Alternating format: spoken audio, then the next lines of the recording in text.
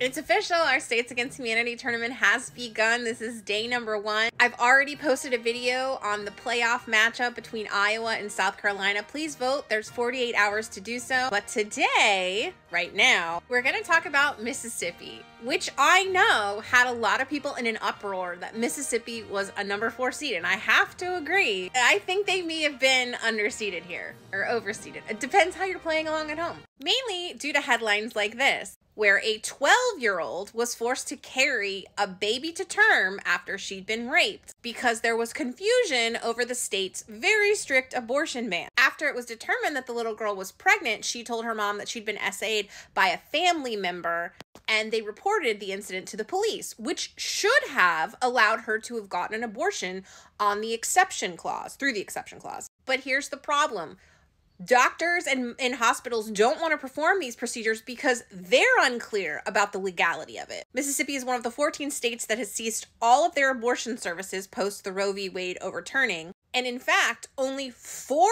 abortions were performed in 2023. Only four qualified as exceptions to the abortion ban. That is compared with the 3,800 that were performed in 2021. Imagine how many other little girls had to sit in front of doctors who had no idea what was even going on with their body and had no choices to make decisions over that body for their medical care. Many ask, why didn't the mom just take her somewhere else? I want to remind you where Mississippi is located. It is landlocked around all of these other states that have just as restrictive abortion bans. Mom had other children. Mom had other financial responsibilities. Mom couldn't take off work to drive and also couldn't afford to pay for an abortion. This is why we talk about these abortion bans as being especially classist and racist because they disproportionately affect these types of people.